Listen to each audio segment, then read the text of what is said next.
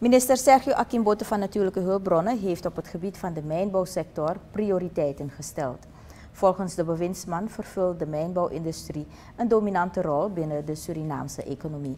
Suriname is als producent van mijnbouwproducten medio 2017 lid geworden van de Extractive Industries Transparency Initiative.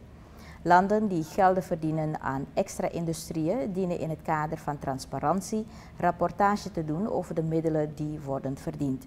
Dit is belangrijk om te tonen dat de middelen daadwerkelijk bij de daarvoor bestemde instituten terechtkomen en daadwerkelijk worden gebruikt voor de ontwikkeling van het land, zegt minister Akimboto. Een andere prioriteit is het opzetten van een delfstoffeninstituut. De bewindsman zegt dat er momenteel gesprekken hierover gaande zijn met een multinational die in Suriname heeft geïnvesteerd. We zijn als land nog steeds afhankelijk van die mijnbouwindustrie. Het is een sector waar we als land ook mee verdienen. Ook is prioriteit van het ministerie de overname van de Afobakadam, het beheer daarvan en de vooruitzichten van de bauxietindustrie. Er is volgens de bewindsman een bewezen voorraad van 300 metrieke ton bauxiet in West-Suriname.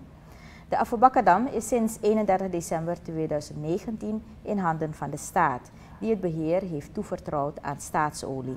De discussie rondom de hele zaak, alsof Suralco gevrijwaard zou worden, klopt niet, zegt Akimboto aan het NII. Het is volgens hem duidelijk in de overeenkomst opgenomen dat Suralco nog verplichtingen heeft. De discussie dat we betalen voor de dam klopt dus niet.